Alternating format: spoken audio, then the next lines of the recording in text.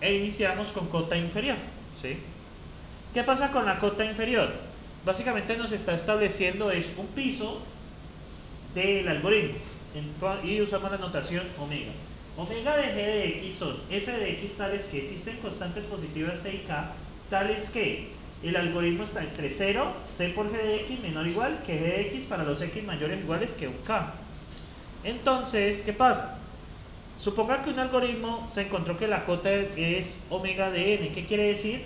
Que el tiempo de ejecución del algoritmo siempre va a estar por encima de una función en términos de n. Siempre va a estar por encima.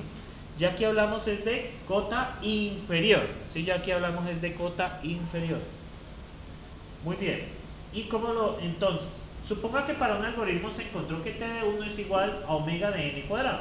Y que para t de 2 es omega n log de n. Entonces, ¿qué se puede esperar con respecto a los tiempos de ejecución? con respecto a TD1 y TD2, ¿qué pueden esperar ustedes de TD1 con respecto a TD2?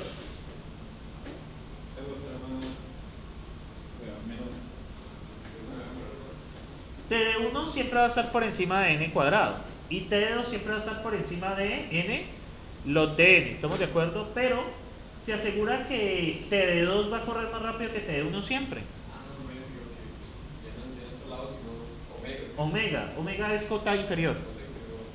Sí, o sea, lo mejor que puedo esperar de TD1 es que comporte cuadrático. Y lo mejor que puedo esperar de T2 es que comporte como en el n.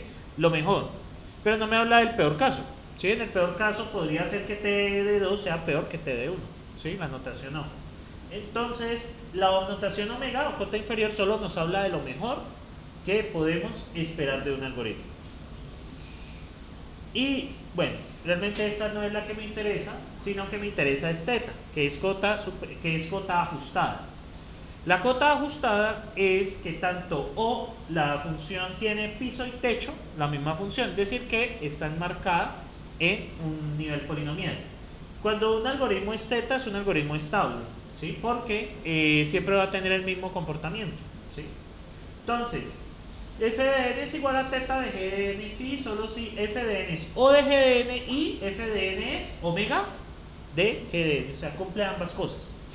Entonces aquí básicamente, recuerda, ah bueno, esta notación no chica, esto de aquí abajo no, no lo vamos a ver, esta notación chica no me interesa, ni o, ni o ni esta me interesan mucho, esto casi no se usa. Entonces voy a concentrarme en teta. Entonces, bueno, esta tampoco. Entonces, muchachos, ¿qué pasa con esto?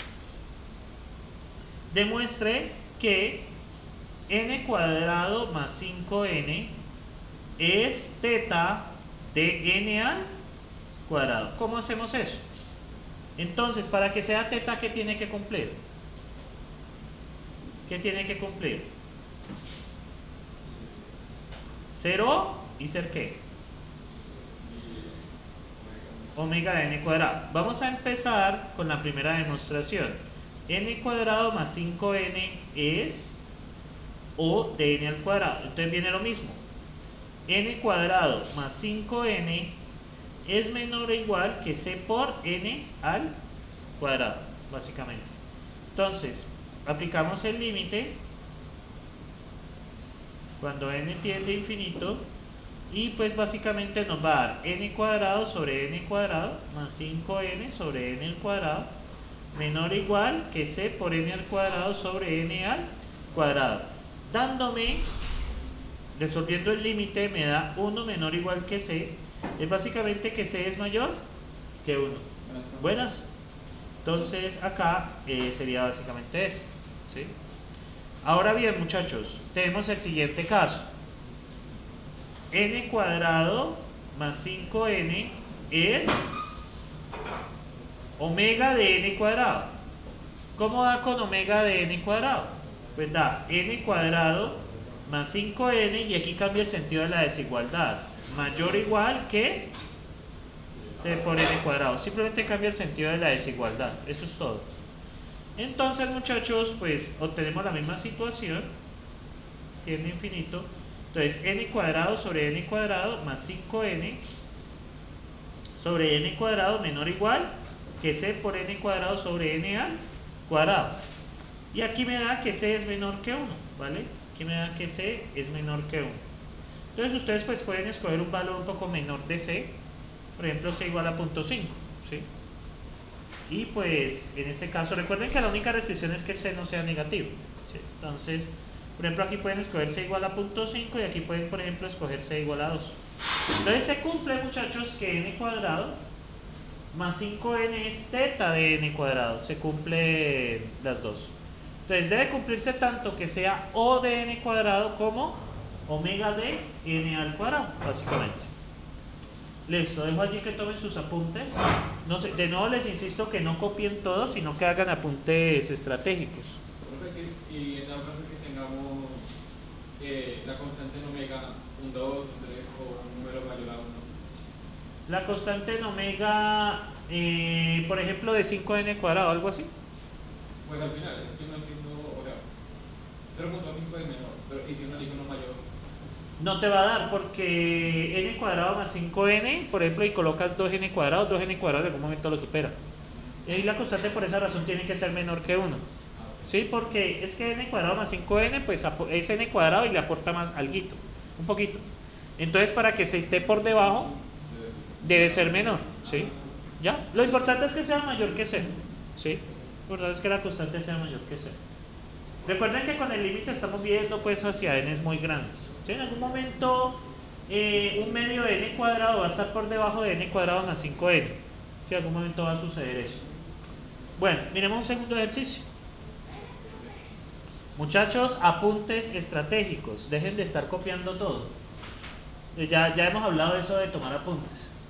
Entonces, tengo, por ejemplo, n al cubo menos 5n cuadrado es o de n al cubo. ¿Cómo demostramos eso? Entonces sería n al cubo menos 5n cuadrado es que o de n al cubo. Y n cubo menos 5n al cuadrado es omega de... ¿Cómo? Eh, teta, sí. Sí, tiene que ser teta. Sí, porque tienen que ser ambos. Entonces, muchachos, recuerden, límite cuando n tiende a infinito de n al cubo menos 5n cuadrado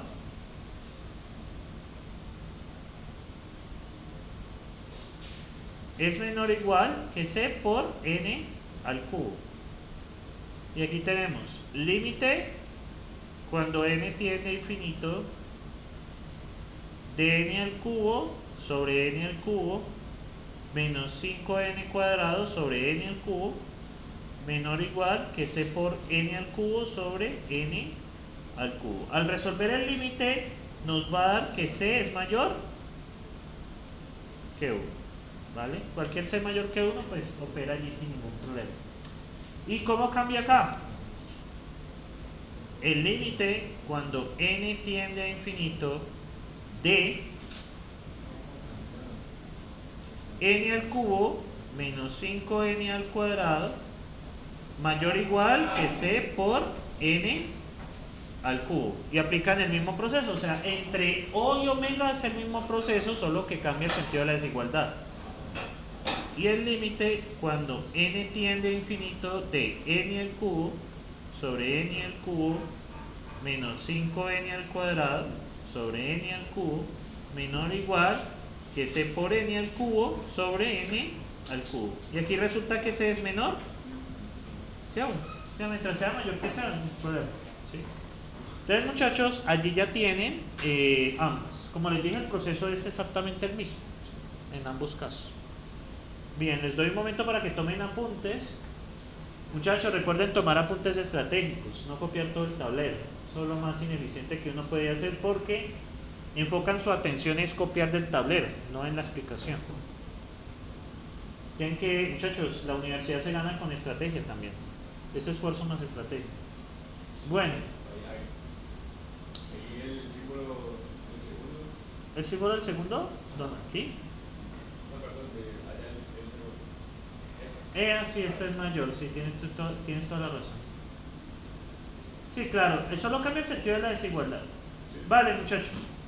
Ahora, pues en el examen yo no suelo hacer preguntas de ese estilo de diga si es n cuadrado o no.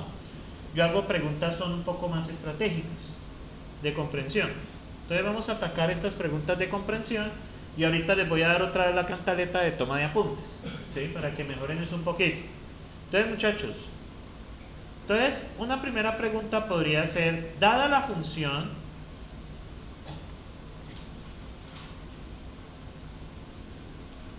n cuadrado más 8n de a dos, dos funciones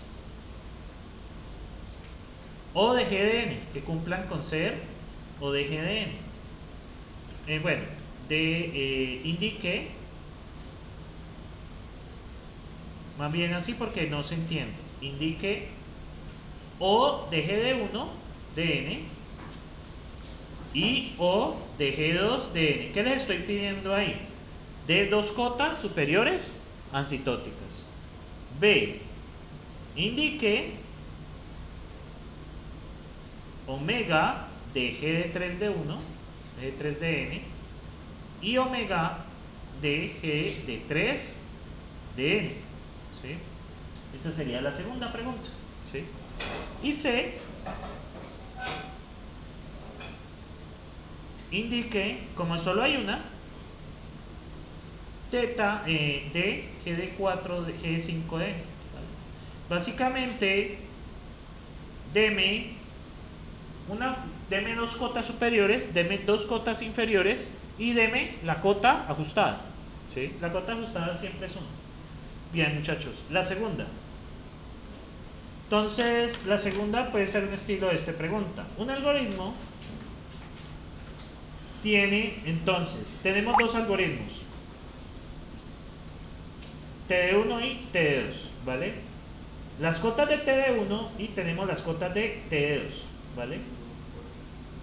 Entonces, muchachos, las cotas de TD1, TD1 tiene un comportamiento de O, N al cubo y tiene una cota inferior de omega de N log de N. El otro algoritmo, muchachos, tiene comportamiento teta de n al cuadrado. ¿Sí? Entonces, ¿qué puede decir de ambos? Y siempre se garantiza, entonces, y siempre se garantiza que uno sea mejor que el otro.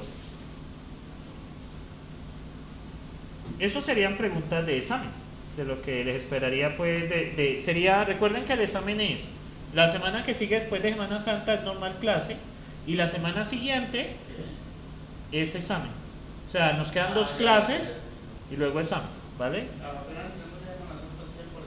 No, es una clase normal. La siguiente, sí. Sí, o sea, no, o sea, váyanse, no, o sea, váyanse, por mí que vayan de vacaciones problema porque creo que las necesitan. Sin embargo, la otra semana les dejo el taller, pero el taller es para entregar el domingo de la semana después de Semana Santa. Yo respeto, o sea, el taller que les voy a colocar hoy se entrega hasta el domingo de Pascua. Esa semana no los voy a molestar. Y el siguiente taller se entregaría, pero el siguiente domingo. O sea, el domingo en la semana del parcial. ¿Sí me siguen allí? Sí, claro. Hasta el domingo de Pascua. El domingo de Pascua es el domingo de la otra semana. Cuando empieza la Semana Santa. Ya si usted se va a vacaciones, pues entréguelo antes. ¿sí? No, yo les respeto espacio a ustedes, muchachos. Tranquilos.